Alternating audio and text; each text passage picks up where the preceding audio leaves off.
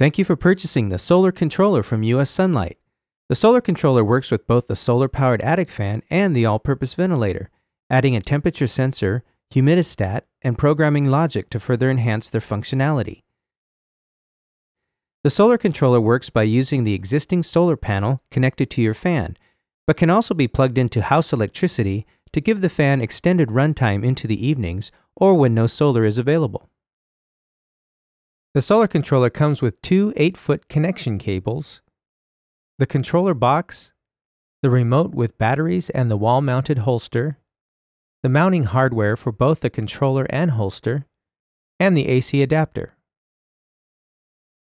Included in the box is a complete set of installation and operation instructions which provide useful tips and information about your solar controller, so please take a moment to read thoroughly.